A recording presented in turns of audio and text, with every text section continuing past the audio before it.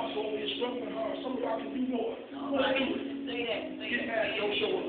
Just get mad, don't show up. Just get ain't coming. It's like Jesus offended you. He woke you up, but you mad and they come. I don't understand. But that's what we're doing at the church. First thing we holler, bless me, Jesus. And then we don't do nothing what we say. We promise him a whole bunch of stuff. Don't do it. All of this, I'll, and ain't doing nothing. Let me help you. Every nickel you get, God owe you. Owe God 10%. I don't care if you owe what somebody gave it to you or you it. You owe God 10%. And that's non-negotiable. Because according to God, he said that ain't yours.